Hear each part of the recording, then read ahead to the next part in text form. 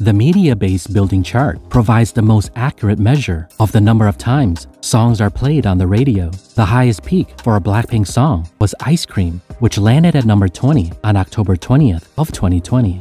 Money by Lisa has also been making headway, crashing the party at number 33 today, three notches up from three days ago.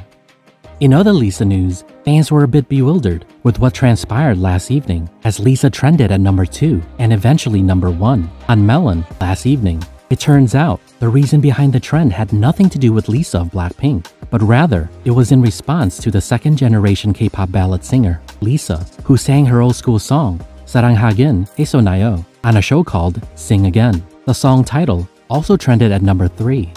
More Lisa news to discuss. Dua Lipa dropped two posts yesterday with the Hello Kitty moon boots, the same ones popularized by Lisa from the Money Dance performance video. Although most likely it was sponsored, it could also serve as a shout out to Lisa, especially with the poses being quite similar.